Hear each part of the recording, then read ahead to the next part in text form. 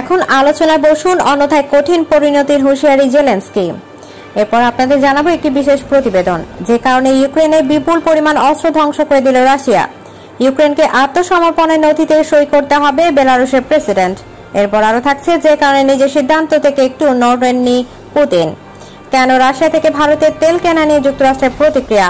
এরপর আরও জানাব, জার্মান চ্যান্সেলরের সঙ্গে পুতিনের উত্তপ্ত বাক্য বিনিময়। মারিওপোলে ঢুকে পড়েছে রুশ সেনারা, শহরে দেখলে যুদ্ধ অব্যাহত। সর্বশেষ আমাদের হাতে যে চাঞ্চল্যক নিশ্চয় আছে, যে কারণে মোসাদ প্রধানের মোবাইল হ্যাক করেছে ইরান।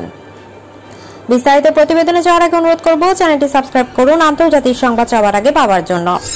এখনই আলোচনায় বসুন, অন্যথায় কঠিন পরিণতির হুঁশিয়ারি জেলেন্সকে। কোনো বিলম্ব না করে এখন অর্থপূর্ণ শান্তি ও নিরাপত্তা আলোচনার জন্য রাশিয়ার প্রতি আহ্বান জানিয়েছেন ইউক্রেনের প্রেসিডেন্ট ভলাদিমির জেলেন্সকি। স্থানীয় সময় শনিবার ভোরে এক ভিডিও বার্তায় তিনি এই আহ্বান জানান। জেলেন্সকি বলেন, রাশিয়ার জন্য এটাই একমাত্র সুযোগ নিজের ভুলের কারণে আক্রমণ চালানোর মতো পদক্ষেপ থেকে ক্ষয়ক্ষতির পরিমাণ কমিয়ে আনার। এখনই সময় বৈঠকে বসার।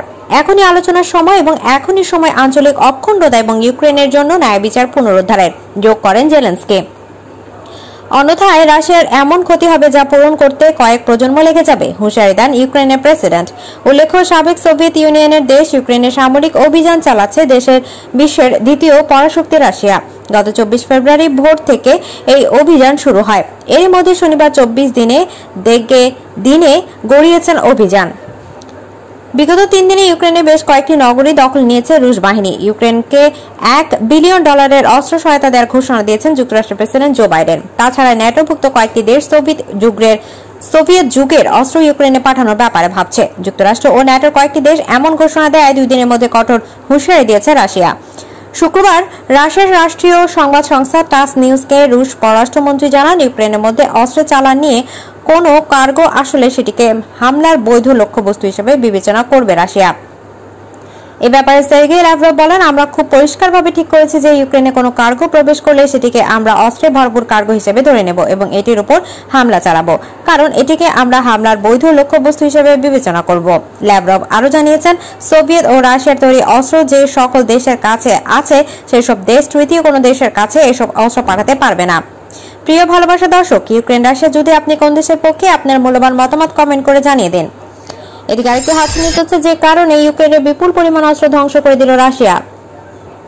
মাইকোলাইভ প্রদেশের ভোজনেস্কো শহরের একটি পণ্যের গুদামে গোলাবর্ষণ করেছে রাশিয়া। এই গুদামটিতে বিপুল পরিমাণের অস্ত্র মজুত করেছিল ইউক্রেন। রুশদের হামলায় মজুতকৃত অস্ত্র ধ্বংস করে গেছে।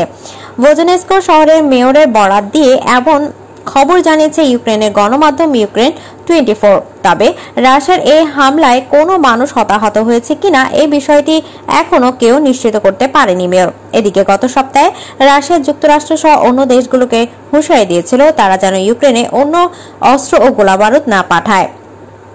হুমকি সুরে রাশিয়া বলেছিল, বাইরে থেকে আসা অস্ত্রের বহরের ওপর তারা হামলা করবে। রাশিয়া, ইউক্রেনে চব্বিশ ফেব্রুয়ারি বিশেষ সামরিক অভিযানের নামে এখন হামলা করে। তাদের এই অভিযান চতুর্থ সপ্তাহে এসে ঠেকেছে রাশিয়া, ইউক্রেনে এখনও বড় কোনো সাফল্য পায়নি। তারা শুধুমাত্র ইউক্রেনের খেরসন প্রদেশের নিয়ন্ত্রণ পুরোপুরি নিতে পেরেছে। আর এই খেরসনের পাশে প্রদেশই হলো মাইক। অবশ্য খেরসনের পর রাশিয়া এখন মারিওপোলের দখল নেয়ার দ্বারপ্রান্তে আছে।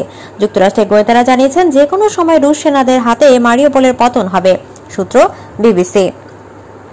এদিকে আরেকটা হট নিউজ হচ্ছে ইউক্রেনকে আত্মসমর্পণের নথিতে সই করতে হবে বেলারুশের প্রেসিডেন্ট মস্কোর সাম্প্রতিক এক সাক্ষাৎকারে রাশিয়ার প্রেসিডেন্ট ভ্লাদিমির পুতিন জানিয়েছেন, তিনি ইউক্রেনকে রাশিয়া থেকে আলাদা বলে মনে করেন না। ইউক্রেনকে যদি নিজের অবস্থান স্পষ্ট করতে হয়, তাহলে তা রাশিয়ার সঙ্গে অংশীদারিত্বের প্রেক্ষিতে করতে হবে। এছাড়া আর কোনো উপায় নেই। হাতে আর চোদ্দ দিন সময় আছে। এর মধ্যে জেলেন্সকিকে হয় শান্তি চুক্তিতে স্বাক্ষর করতে হবে অথবা আত্মসমর্পণ ছাড়া উপায় থাকবে না ইউক্রেনের সামনে। বলছেন রাশিয়ার মিত্র দেশ বেলারুশের প্রেসিডেন্ট আলেকজান্ডার লুকাশেঙ্কো জাপানি টেলিভিশন চ্যানেল টিবিএস কে দেয়া এক সাক্ষাৎকারে একথা বলেন লুকাশেঙ্কো। চব্বিশ ফেব্রুয়ারি ইউক্রেন হামলায় শুরু হয়েছিল রাশিয়া। তারপর কেটে গেছে তেইশ দিন। রাশিয়ার বাহিনী ক্রমে এগোচ্ছে ইউক্রেনের রাজধানী কিয়েভের দিকে। সর্বস্ব ছেড়ে প্রাণ বাঁচাতে ইউক্রেনের পশ্চিম দিকে পোল্যান্ড, স্লোভাকিয়া, হাঙ্গেরি ও রোমানিয়া সীমান্ত মানুষের লম্বা লাইন। সকলেই চাইছেন দেশান্তরী হয়ে রাশিয়ার আগ্রাসন থেকে বাঁচতে। যদিও দেশের ভেতরে প্রতিরোধ জারি রেখেছে ইউক্রেনের সেনারা, তাদের অস্ত্র শস্ত্র দিয়ে সহায়তা করেছে মার্কিন যুক্তরাষ্ট্র ও পশ্চিম বিশ্বের একাধিক দেশ। এই পরিস্থিতিতে যুদ্ধের ভবিষ্যৎ গতি প্রকৃতি নিয়ে নিজের মত ব্যক্ত করেছেন ইউক্রেনের উত্তর পশ্চিমের দিকে প্রতিবেশী, কিন্তু রাশিয়ার ঘনিষ্ঠ মিত্র বেলারুশের প্রেসিডেন্ট আলেকজান্ডার লুকাশেঙ্কো।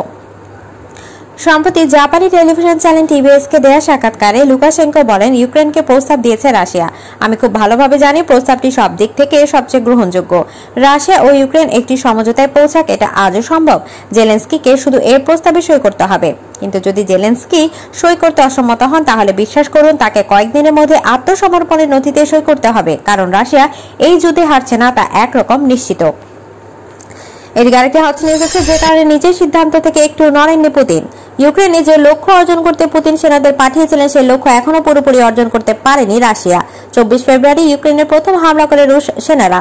এই সময়ের মধ্যে অনেক ক্ষয়ক্ষতির মুখে পড়েছে তারা, হারিয়েছে অনেক সেনাকেও। তবে এত কিছুর পর নিজের সিদ্ধান্ত থেকে পুতিন একটু নড়েননি। তিনি তার সিদ্ধান্তে অটুট আছেন। নাম প্রকাশ না করার শর্তে এক পশ্চিমা গোয়েন্দা এমন তথ্য জানিয়েছেন। সংবাদ সংস্থা রয়টার্সকে এই গোয়েন্দা কর্মকর্তা বলেন, পুতিন যে লক্ষ্য নিয়ে অভিযান শুরু করেছিল, আমি এর মধ্যে কোনো পরিবর্তন দেখিনি। তিনি আরও বলেন, শুধু পার্থক্য হলো তারা যে পরিকল্পনা করেছিল আর এখন যেভাবে আগাচ্ছে। ওই গোয়েন্দা আরও বলেন রাশিয়া লক্ষ্য অর্জন করতে সেই সময় যে সময় নির্ধারণ করেছিল সেই সময় অনুযায়ী তা অর্জন করতে ব্যর্থ হয়েছে। এদিকে দুই দিন আগেও সরাসরি পুতিন ঘোষণা দিয়েছেন, তিনি ইউক্রেনে তার লক্ষ্য অর্জন করবেনই। আলোচনার মাধ্যমে যদি তিনি তা অর্জন করতে পারেন, তাহলে ভালো। কিন্তু আলোচনা ব্যর্থ হলে সামরিক শক্তি প্রয়োগ করেই লক্ষ্য অর্জন করবেন, সূত্র দ্য গার্ডিয়ান। এদিকে আরেকটি হট নিউজ হচ্ছে কেন? রাশিয়া থেকে ভারতের তেল কেনা নিয়ে যুক্তরাষ্ট্রের প্রতিক্রিয়া। ভারত যদি রাশিয়া থেকে কম দামে তেল আমদানি করে, তাতে মার্কিন নিষেধাজ্ঞার লঙ্ঘন হবে না বলে জানিয়েছেন যুক্তরাষ্ট্র। তবে ভারত এমনটি করলে তারা ইতিহাসের ভুল পক্ষ অবলম্বন করবে বলে জানিয়েছেন হোয়াইট হাউস। খবর এবিসি নিউজে।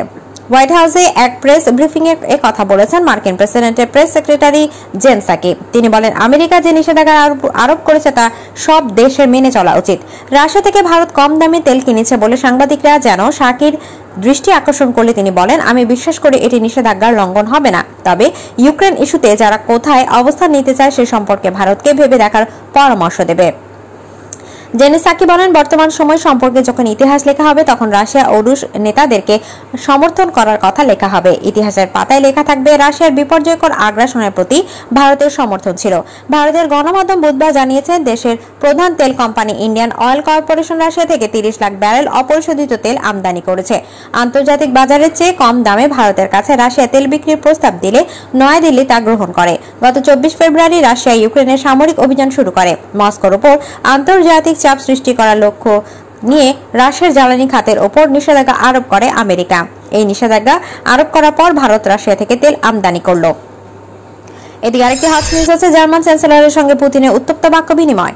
ইউক্রেনে হামলা বন্ধ করার অনুরোধ জানাতে শুক্রবার রাশিয়ার প্রেসিডেন্ট ভ্লাদিমির পুতিনকে ফোন করেন জার্মান চ্যান্সেলর ওলাফ সরজত রাশিয়ার মুখপাত্র দিমিত্রি পেসকভ ইঙ্গিত দিয়েছেন, জার্মানি চ্যান্সেলরের সঙ্গে উত্তপ্ত বাক্য বিনিময় হয়েছে পুতিনের। দুই নেতার ফোন কলের ব্যাপারে দিমিত্রি পেসকভ বলেন দুই নেতার মধ্যে কঠিন কিন্তু ভালো আলোচনা হয়েছে। তবে তাদের দুজনকেই বাক্য বিনিময়কে সৌহার্দ্যপূর্ণ বলা যায় না। এটা ছিল কঠোর আলোচনা। এদিকে গণমাধ্যম সিএনএন জানিয়েছে, জার্মান চ্যান্সেলরের কাছে পুতিন অভিযোগ করেছেন ইউক্রেন শান্তি আলোচনায় সময় ক্ষেপণ করছে। রাশিয়া চাইছে দ্রুত সমাধান হোক এবং ইউক্রেন সমঝোতার আলোচনা দীর্ঘায়িত করছে। এ ব্যাপারে পুতিন চ্যান্সেলর সলজকে বলেন, এটা বলতে হয় সমঝোতার সময় বাড়ানোর সব চেষ্টা করছে কিয়ে প্রশাসন। তারা একটির পর একটি অবস্থা প্রস্তাব সামনে আনছে। তা সত্ত্বেও রাশিয়ার সমস্যা সমাধানের পথ খুঁজছে, রাশিয়া প্রস্তুত আছে।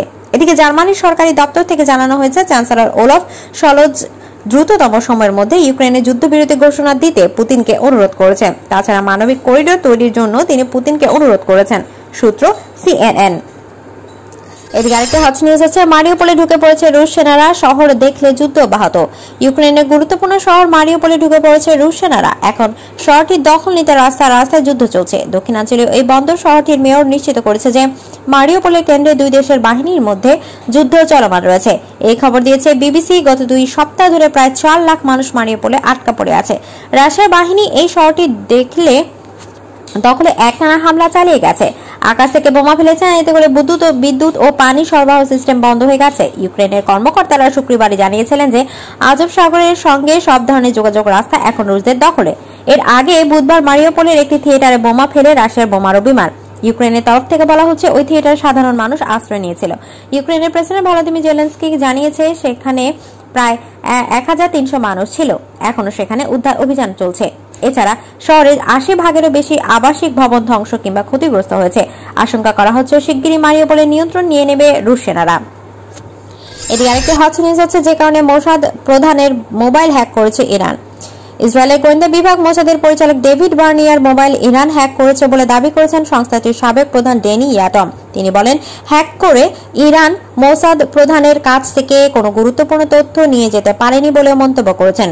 খবর জেরুজালেম পোস্টের। ডেনি ইয়াটম আরও বলেন, মোসাদের বর্তমান পরিচালক ডেভিড বার্নিয়ার মোবাইলটি সেকেলে। এই মোবাইল থেকে ইসরায়েলের কোনো গুরুত্বপূর্ণ তথ্য হাতিয়ে নিতে পারবে না।